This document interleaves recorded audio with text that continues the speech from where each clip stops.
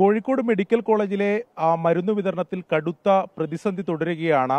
ആ മരുന്ന് വിതരണം മുടങ്ങി അഞ്ചു ദിവസം കഴിഞ്ഞിട്ടും പ്രശ്നപരിഹാരത്തിന് യാതൊരു തരത്തിലുള്ള ഇടപെടലും ആരോഗ്യവകുപ്പിന്റെ ഭാഗത്തുനിന്ന് ഉണ്ടായിട്ടില്ല എന്നതാണ് ഏറ്റവും പ്രധാനപ്പെട്ട കാര്യം.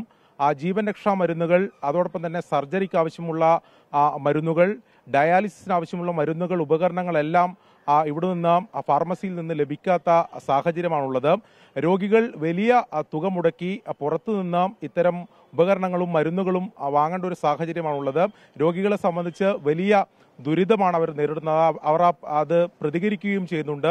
ആ, ഈ മെഡിക്കൽ ഷോപ്പിൽ വന്ന് ആ, തിരിച്ച് പുറത്തു പോയി മരുന്ന് വാങ്ങേണ്ട ഒരു സാഹചര്യം വലിയ തുക മുടക്കി മരുന്ന് വാങ്ങേണ്ട ഒരു സാഹചര്യമാണുള്ളത്. നമ്മൾ ഈ പിന്നെ സർജറിയൊക്കെ ബന്ധപ്പെട്ടുകൊണ്ടുള്ള മരുന്നുകൾ പിന്നെ ആ മരുന്നുകൾ ഞങ്ങൾ ഇന്നലെ രാത്രി തൊട്ടിട്ട് ഇവിടെയുള്ള ഈ മെഡിക്കൽ കോളേജിന് കീഴിലുള്ള സർക്കാരിന്റെ കീഴിലുള്ള രണ്ട് മൂന്ന് സ്ഥലങ്ങളിൽ പോയി നോക്കിയിട്ടൊക്കെ നമുക്ക് മരുന്ന് പൂർണമായിട്ടും കിട്ടിയിട്ടില്ല. എവിടെയും മരുന്നില്ല. ഇപ്പോൾ ഇവിടെയും നമ്മൾ മരുന്നില്ലാത്തൊരു അവസ്ഥയാണ് പുറത്തുനിന്നൊക്കെ വലിയ പൈസ കൊടുത്തിട്ട് വാങ്ങേണ്ട ഒരു അവസ്ഥയിലേക്ക് ഇപ്പോൾ വന്നത്. അപ്പോൾ ഇവിടെ ഇപ്പോൾ കൊടുത്ത സമയത്ത് പൂർണമായിട്ടില്ല എന്നാണ് പറഞ്ഞത്. ഇത് എന്റെ മാത്രമല്ല എല്ലാവരും വിഷയം അങ്ങനെ തന്നെയാണ്. മരുന്നിന് ഭയങ്കര ക്ഷാമം ഇപ്പോൾ ഇവിടെ. ഇപ്പോൾ ഇവിടെ ഇല്ലെങ്കിൽ പിന്നെ നീതി പോവും അവിടെ ഇല്ല. മറ്റേ അതിനപ്പുറത്തുള്ള കാരുണ്യം അവിടെയും ഇല്ല.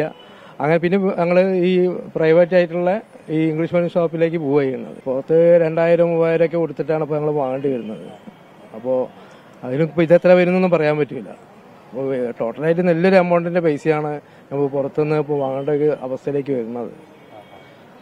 അപ്പോൾ ഇത് എത്രയും പെട്ടെന്ന് ഇത് നടന്നില്ലെങ്കിൽ കാരണം ഇപ്പോൾ കുറച്ച് മരുന്നുകൾ എമർജൻസി ആയിട്ട് അവിടെ സ്റ്റോക്ക് ഉണ്ടാവും. ഈ ഓപ്പറേഷൻ തിയേറ്ററിൽ അവർ അവിടുത്തെ സ്റ്റോക്ക് കഴിഞ്ഞിട്ടുണ്ടെങ്കിൽ പിന്നെ കിട്ടാതെയോ? പിന്നെ പാവങ്ങൾക്ക് മരുന്ന് പുറത്തുനിന്ന് വാങ്ങാനുള്ള സാഹചര്യം ഇല്ലാതെ ആകെ ഒരു വലിയൊരു അപകടാവസ്ഥയിലേക്കാണ് പോയിക്കൊണ്ടിരിക്കുന്നത്. ഇപ്പോൾ മൂന്ന് ദിവസമായി ഇപ്പോൾ അങ്ങനെ പുറത്തേക്ക് സ്റ്റോക്കില്ല ഇപ്പോൾ ഇന്ന് ഫുള്ള് അവിടെ ഫുള്ള് സ്റ്റോക്ക് ബ്ലോക്ക് ചെയ്തു എന്നിട്ട് പിന്നെ ഇവിടെ ഇന്നിങ്ങനെ വരിന്നിങ്ങനെ നിൽക്കും. അവിടെ എത്തുമ്പോൾ പിന്നെ ആൾക്കാർ ഇവിടെ ഇല്ല പറയും. അവനെ നമ്മൾ പുറത്തേക്ക് പോകേണ്ട അവസ്ഥയാണ്. എല്ലാവരും ഒരുവിധം എല്ലാവർക്കും തന്നെ ഇത്. അഞ്ച് ഡയാലിസ് ചെയ്തതിന്റെ മരുന്നൊന്നും കിട്ടാനില്ല. അതിനിപ്പോ നമ്മളിങ്ങനെ എല്ലായിടത്തും നടക്കുകയാണ് ലാസ്റ്റ് കിട്ടണില്ല കാരണം അവിടെ കൊണ്ടുകൊടുക്കും കിട്ടണില്ല പറയുന്നുണ്ട്. എഴുപത്തഞ്ച് കോടി രൂപയാണ് ആ മരുന്ന് വിതരണക്കാർക്ക് ആ മെഡിക്കൽ കോളേജ് നൽകാനുള്ളത്. അത് കുടിശ്ശികയായി നിലനിൽക്കുകയാണ്. ആ കുടിശ്ശിക നൽകാതെ മരുന്ന് വിതരണം പുനരാരംഭിക്കില്ല എന്ന് തന്നെയാണ് വിതരണക്കാർ പറയുന്നത്. മറ്റൊരു പ്രധാനപ്പെട്ട കാര്യം ആരോഗ്യ വകുപ്പ് ഇതുവരെ ഈ വിതരണക്കാരെ ചർച്ചയ്ക്ക് വിളിക്കുകയോ എന്തെങ്കിലും ഒരു പ്രശ്നപരിഹാരത്തിന് എന്തെങ്കിലും ഒരു ശ്രമം നടത്തുകയോ ചെയ്തിട്ടില്ല. ഇന്നലെ ജില്ലാ കളക്ടറെ മരുന്ന് വിതരണക്കാർ നേരിട്ട് കണ്ട് അവരുടെ ബുദ്ധിമുട്ട് അവരുടെ പ്രശ്നം പറഞ്ഞു. എന്നാൽ അവിടെയും കൃത്യമായൊരു നടപടി ഉണ്ടായില്ല. ആരോഗ്യ വകുപ്പിന്റെ ശ്രദ്ധയിൽപ്പെടുത്താമെന്ന മറുപടിയാണ് ജില്ലാ കളക്ടർ നൽകിയത്.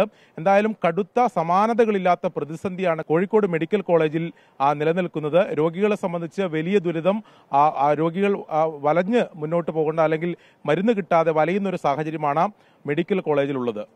പ്രവീൺ ധർമ്മശാലക്കൊപ്പം അരുൺ പൂപ്പറമ്പ ട്വന്റി കോഴിക്കോട്.